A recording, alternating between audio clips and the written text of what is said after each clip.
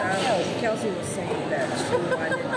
Kelsey was saying that she wanted the family and get them back. Which one? The people. No, no, no, Felicia.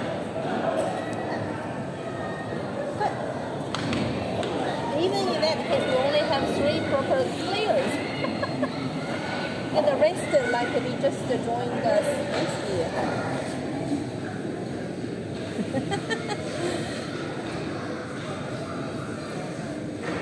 Ayun!